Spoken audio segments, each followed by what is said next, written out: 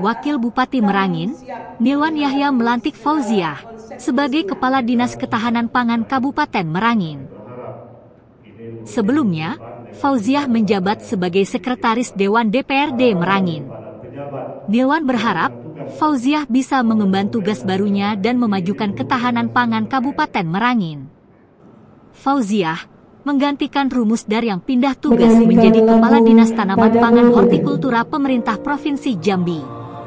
Wakil Bupati Merangin Nilwan Yahya mengatakan, perpindahan dan mutasi jabatan di lingkup pemerintah adalah hal yang lumrah terjadi. Ini merupakan pelantikan hari ini sudah direncanakan, kita juga sudah melalui proses melalui Jopit. Tentu Jopit ini uh, setelah dua minggu baru-baru ini baru keluar hasil dari Jopit. Nah tentu dari Jopit ada batasan waktu. Artinya pelantikan yang kita lakukan hari ini bukan sifat tersembunyi, tapi sudah direncanakan memang dari awal. Nah apalagi tugas yang dilaksanakan oleh Bu Fauziah di Sekuan ini sudah berlangsung sekitar tujuh tahun lebih.